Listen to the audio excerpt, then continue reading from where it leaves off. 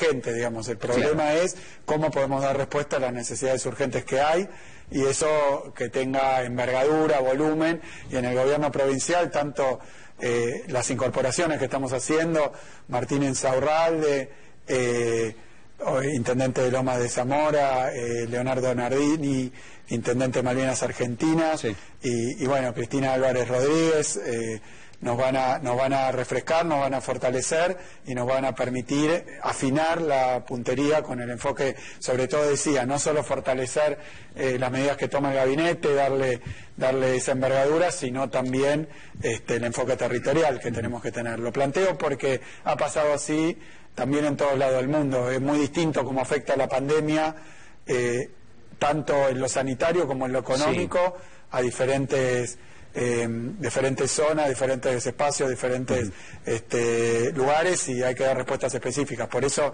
es muy importante. Hemos hecho reuniones, mira, hemos hecho reuniones con, con los intendentes de la primera y tercera sección electoral, eso es el conurbano, y también con el interior.